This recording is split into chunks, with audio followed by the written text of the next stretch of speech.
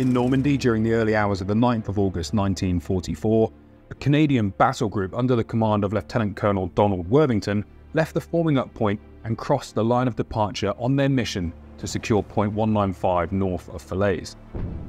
When daylight broke, Worthington confidently reported that he had achieved his mission and requested immediate support to defeat the Germans who were now attacking him. However, Worthington had become lost overnight and was now six kilometers east of his intended destination. Miles from support and surrounded, his battle group was destroyed at the cost of 240 casualties and 47 tanks lost. Worse still, their destruction was captured on film as the tanks of the 12th SS Panzer Division closed in.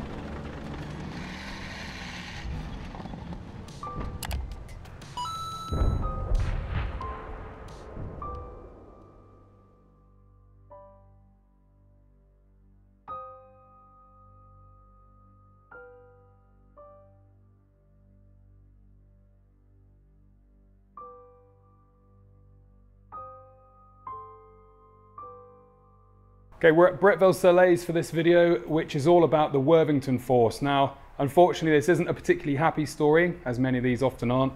The Worthington Force was commanded by Lieutenant Colonel Worthington, and it was essentially a battle group. He led this battle group on an offensive to Hill Point 195, or at least that's where he thought he was going. And unfortunately, the battle group took a wrong turn and veered off in the wrong direction, away from their support, and importantly, away from their artillery support as well. So the battle group headed down a road, which I'm going to show you now, which took them behind the enemy lines. And unfortunately, once the enemy realized that uh, the Canadians were behind their lines, they were basically in a really good position to counterattack them. And they destroyed the Worthington force in their fortress position.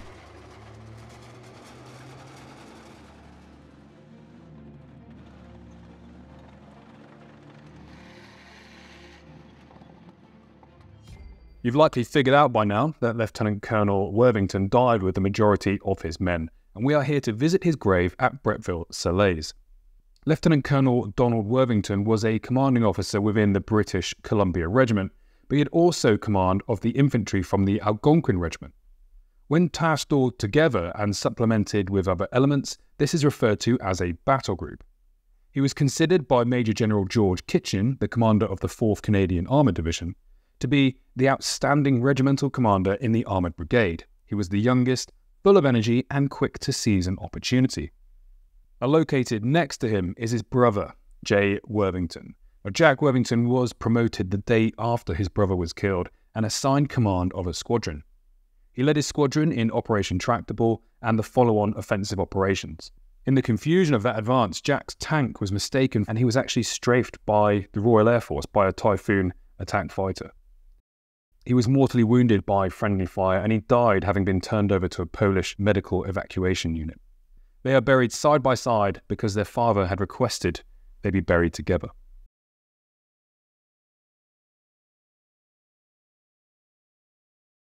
So let's look at the ground in general. And of course, we're in Normandy, but we're going to look at a piece of ground which is south of Caen. We've highlighted it here. Operation Totalize is a multi phase offensive operation, and it would take me some time to explain this adequately. So I'm going to try and make this as simple as I possibly can. Now, this image shows the main route from Caen in the north to Falaise in the south.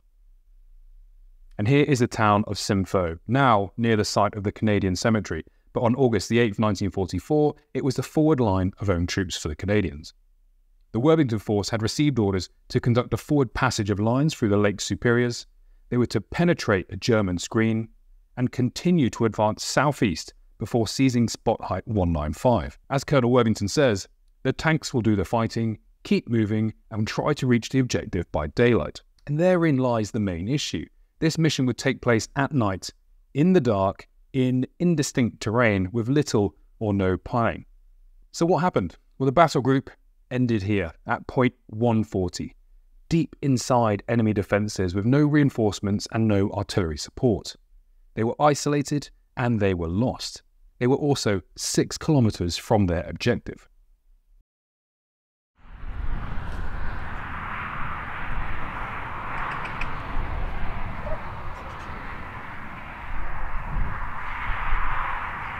So this road we're stood on now is right next to uh, a main D route, so it's really, really busy and you probably can't hear me very well. But the road that I'm actually stood on was the original main road heading north-south, which is the route that the Worthington Force should have taken. So they should have kept following north-south down towards Hill 195. And what actually happened as I approached this corner is that they became disorientated and they turned off onto this route right here heading left. But what that means is that the Worthington force ended up heading down this route for about six kilometers or so and they ended up being completely isolated. Now this is the actual route that they did take and they headed straight down that way. And the reason they became disorientated and followed the incorrect route is because they were under attack at the time. They were receiving small arms fire, harassing fire from the village down there. And as we get down this road, there are actually some 88 millimeter guns in a field that also caused them to become disorientated. And as they picked up the road again, they assumed that this straight track down the bottom there was this main road. But it wasn't. Unfortunately, as they rejoined the route, they assumed that this road was the main road and they headed in the wrong direction. The German defensive screen was designed to disrupt the Canadian offensive with pockets of infantry and anti-tank guns in the wooded areas shown here. When we overlay reconnaissance images, we can see the track marks of the Worthington force attempting to bypass this resistance.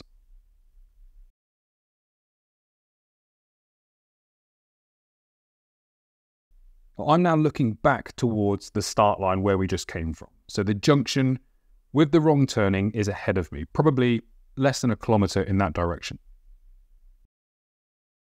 The Worthington force should have been over there, and you can see the original route which follows the main highway. Hopefully you can see the traffic moving left to right across your screen.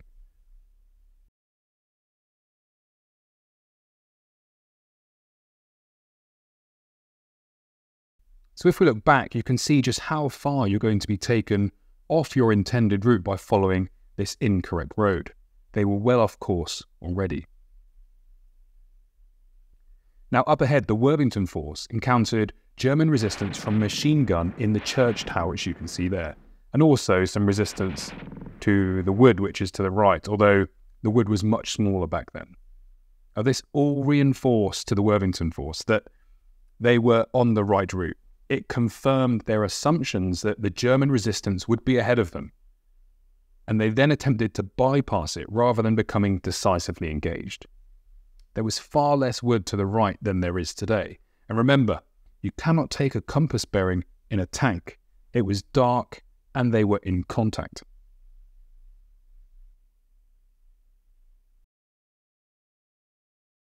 The blue route is the one that they should have taken, tracking the main route north to south. The yellow route is the one that they actually did take, bypassing the resistance. They moved around and they came across another straight road, and they assumed this was the straight road of the main highway that they should have been following. But of course, we know that it's the wrong road. There aren't actually many straight roads in Normandy, so to come across another one was probably quite rare for them. Now, we know this happened because we can see their movements in the aerial pictures, and this is where the error occurred.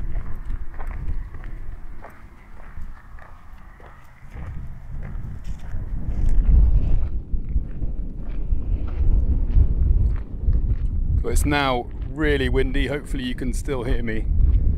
But this is the route that they took and this is actually representative of what those tracks looked like. In 1944 we think of them as being metalled roads but actually they weren't. So if you have two tracks that look just like this and they both look straight which is what you've been told to uh, to, to look for a straight Roman road that's heading north-south you very well can understand why they uh, became confused. Now the issue though is that they did not pick up that they'd been traveling on this route for a number of kilometers in the wrong direction. arguably, if we're being critical, they probably should have done, but I will never criticize commanders' decisions when I don't necessarily have the full facts myself and I'm not under that pressure. They were in contact a lot of the time as well. What I really, what I really don't like is when historians and people who have never served or don't have any experience of what it's like to be under fire start criticizing commanders' decisions. It really doesn't sit well with me, so that's not the intention of this video. But what they could have done as a collective, from a, a team perspective, is check each other's maps, grids. Instead, they went along with this confirmation bias, which is absolutely deadly. So the next thing that happened as they approached this area was they encountered resistance from that wood right in front of us. Now, that wood right down there had small arms fire and I believe anti-tank, um, uh, an anti-tank gun that was firing up this road as well. So again, more confirmation bias that they're heading in the right direction. The Germans are down there. They also then, over to the right, encountered um, what they believe was 88 millimeter fire from a field just down there. So again, they believe they're pushing on towards their objective. Now, remember as well that this would have been very low light, lots of dust kicked up by armored vehicles, and I'll put some footage of the dust that is generated by armored vehicles just so you can understand how disorientating it can be. Especially when it's dark as well because the sun was just about to come up. You can understand exactly how this happened. The final point is that they were trying to aim for a high feature called Hill 195. And sure enough, over on the horizon there is a high feature. So all of these things are influencing the commander to allow him to believe that he's doing the right thing and he's heading in the right direction. And so far he'd made great progress. But unbeknownst to him, he was actually heading in the wrong direction behind the enemy lines. So they continued along this track until they reached the high point, still believing they were heading towards their objective. When they arrived at the high point, they reported they had reached Hill 195, where they would establish a fortress position.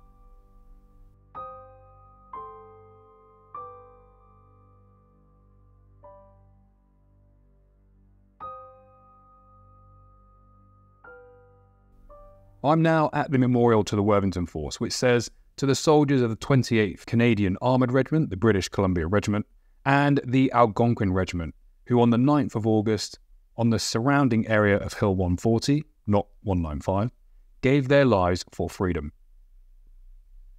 And here, on the 9th of August 1944, in Phase 2 of Operation Totalize, Worthington Force, the 28th Armoured Regiment of the British Columbia Regiment, and the Algonquin Regiment, as part of 4th Canadian Armoured Division, was tasked with securing the high ground overlooking Falaise. On and around Hill 140, Worthington Force fought a desperate and stubborn engagement against their most determined enemy. Their courage and sacrifice remains unsurpassed in the annals of the Canadian Army. Well, now we come to the enemy. So the local commander responsible for the German counterattack was SS Oberführer Kurt Meyer, and he was in command of the 12th SS Panzer Division. Kampfgruppe Waldmüller held the high ground around Hill 140, and the 501st SS Tiger Battalion was to the west in Quesnay Woods. It was SS Obersturmbannführer Max Wünsche who organised his tanks to launch an attack on the Canadians supported by artillery and mortar fire. And at this point, Colonel Worthington had about 31 Sherman tanks, including a Sherman Firefly armed with a 17 pounder gun, but more tanks would arrive shortly.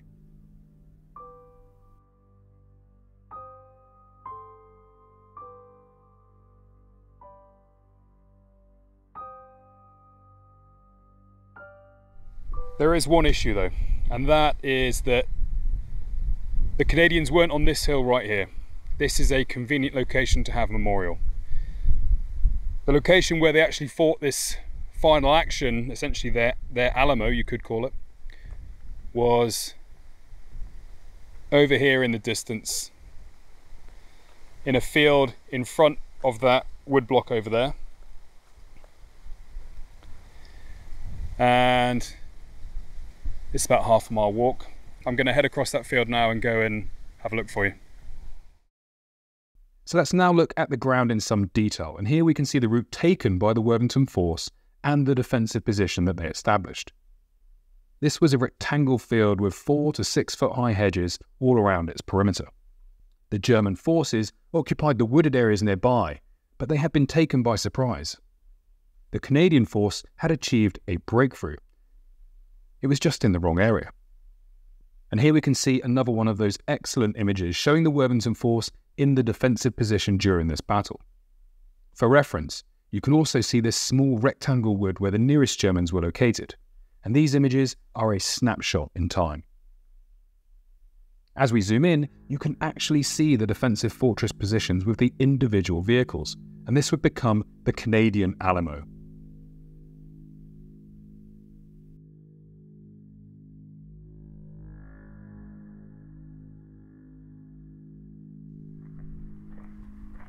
Confirmation bias. So Worthington Force came from that direction,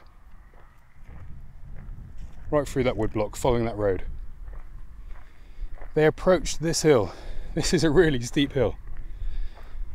They were told to reach hill 195. This would look like hill 195. You can see the summit is right over there. It's a big hill. I'm now walking on a track to the fortress position, or the last stand position. And this is somewhere I've wanted to visit for ages.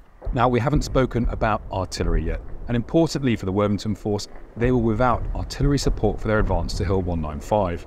And it's fair to say, artillery support for the battle group completely failed on the 9th of August 1944.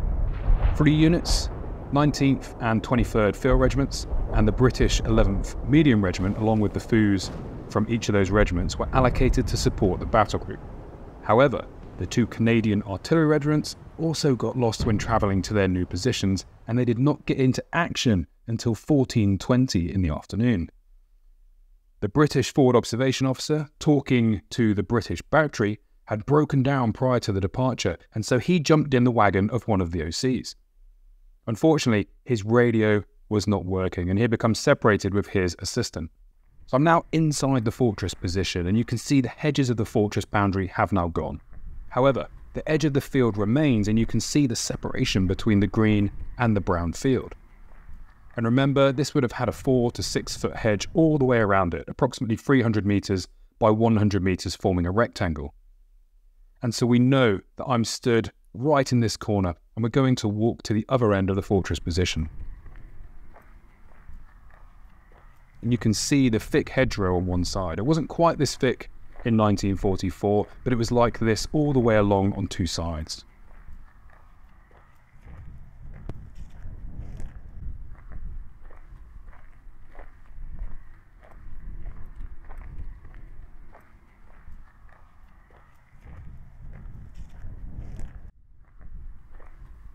We've now reached the next corner of the fortress, right at the edge of this wood.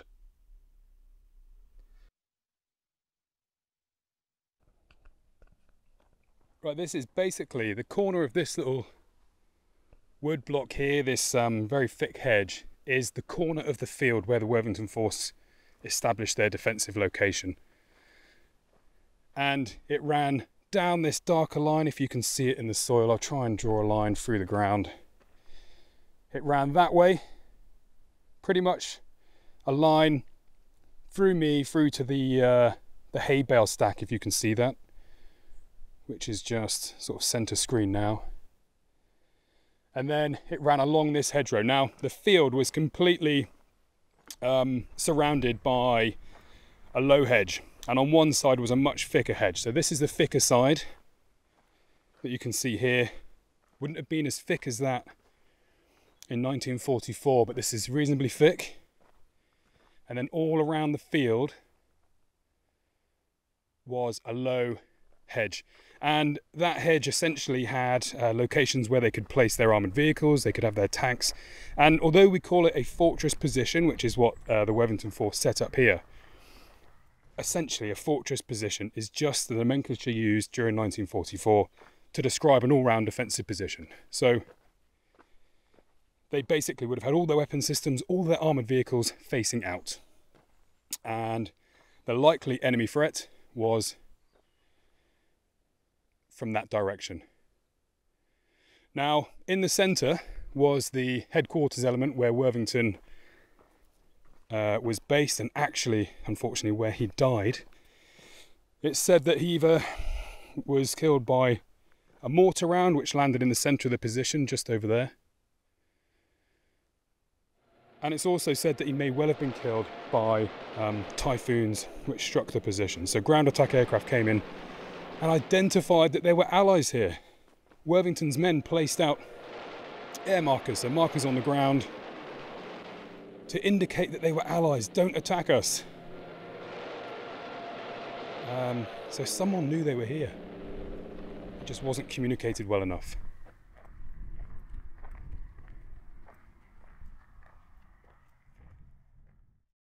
So, through the excellent research of Dr. Mike Bechthold, we have access to this plan from the BCR Museum, giving us an insight into the troop dispositions within the fortress, where they positioned the vehicles. It's so accurate, in fact, that we can use it to identify the vehicles from the aerial photos. The first vehicle is the 17 pounder Sherman Firefly, annotated as hull down in a hollow. This was practically where I was standing in the corner of the field and this was the most potent organic weapon systems that the Canadian had within the battle group. Next, we can see the Algonquin Regiment 3 inch mortars set back against the hedge. And this was the only indirect fire assets that the Canadians had. And in the centre, we have the regimental headquarters staff. Lieutenant Colonel Worthington's tank is highlighted right here in the centre of the position by this tree. On that day, the Canadians were actually attacked in error by RAF Typhoons. They were not expecting to see a large group of armour in this location. So the Canadians deployed ground to air identification panels, which you can see here. It's actually claimed in some sources that Colonel Worthington was killed by ground attack aircraft, but this is likely a confusion with his brother's death, because his brother unfortunately was killed when an RAF Typhoon strafed his position during the battle for Falaise. And these are just remarkable pictures. The next point then is that you can see that there's still a skyline here and there's a wood block on that skyline. That's called 30 acre wood. That was actually occupied by the Germans. Now, lots of people think that if you're defending an area, you should stick your, uh, your armour on top of the hill or you might have your defensive position on top of the hill. That's not what you would do. What you'd actually do is put it on the reverse of a slope so that you can see the enemy crest themselves. What you want to see is the enemy skylining themselves along that ridgeline so that you can start striking them with your mortars, the head mortars here, and through your direct fire weapon systems. So actually it's really well sighted. Less so in this direction, but actually they thought that's where the Allies were. They thought the forward line of own troops was in that direction and they knew the enemy was in this direction. So Lieutenant Colonel Worthington, you sited this perfectly. Lots of people online who criticised the decision to set up the fortress position here. And let me tell you now, this is a brilliant position. If you had to choose one in this location, and remember they were told to occupy Hill 195, which they believed this was Hill 195. Be really interesting to know just when they came to realise that this was the wrong location. Back to our map, and you can see 30 acre wood approximately 600 metres away from the defensive position. It was from here that the Germans were preparing an attack, and Worthington sent two troops from B Squadron to disrupt the attack and to defeat the Germans in the woodblock. They made it to the wood and discovered a network of trenches before they were engaged by Tiger tanks from the west and the south. Four Canadian tanks were knocked out at 30 acre wood. Lieutenant Stock came across Sergeant Warbank, who had been wounded. He says, I found him stretched on the ground moaning, with one foot completely blown off and the boot lying about four foot away from the stump, with a long piece of Achilles tendon still attached. George had always been a great athlete, and he'd always stated he would rather get it completely rather than lose a limb. He was staring down at the stump of his leg, and he looked up at me. He said, You have your pistol, just kill me. So when we look at the imagery from 30 Acre Wood, you can clearly see the aftermath of a recent battle. There are smouldering wrecks that attest to the fighting that occurred here. The Canadians were successful in clearing the wood, but ultimately they had to withdraw with multiple casualties. Some casualties they left to even crawl back to the defensive position. And when we zoom into the photo, you can clearly identify four burning hulks from the brewed up Canadian tanks. Now, the really interesting thing is that on, on the day that this battle happened, and actually at the exact same time, there was reconnaissance aircraft flying over. And as we've spoken about previously and shown the pictures, they were taking the photographs that are used to explain what happened here. And you can see the tank tracks from the Panthers, from the 12th SS Panzer Division, who are closing in on this location, right where I'm standing now. And that's a bit of a scary thought to think that right here at that time, the battle group was defending themselves, fighting for their lives under indirect fire from mortars and artillery, but also being engaged from the flanks by panthers. Uh, certainly, you can identify one panther in the photo, and I'll put that up on the video. But I've just got the utmost respect for the people that were here. And in this picture, we have one such example of a German panther moving towards the Canadian positions. It was flanking them from the east. The Canadians would lose 47 tanks in total, and they would sustain 240 total casualties.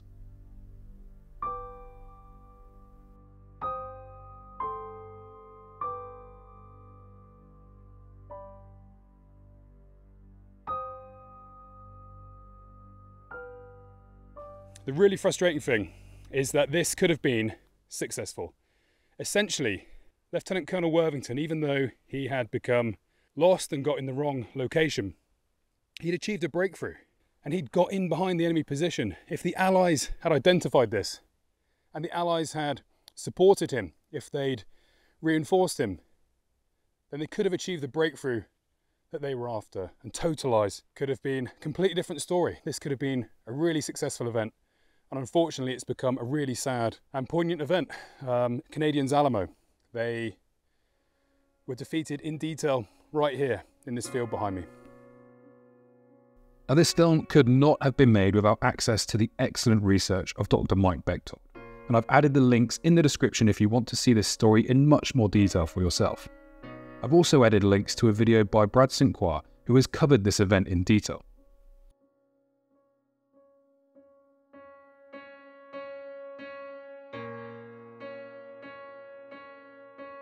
I've tried to be as fair as I possibly can in this video whilst obviously also trying to be respectful. I really hope you've enjoyed this video. If you have, then why not leave a like and also leave me a comment. I'd love to hear your views on what you think the Worthington Force could have done differently.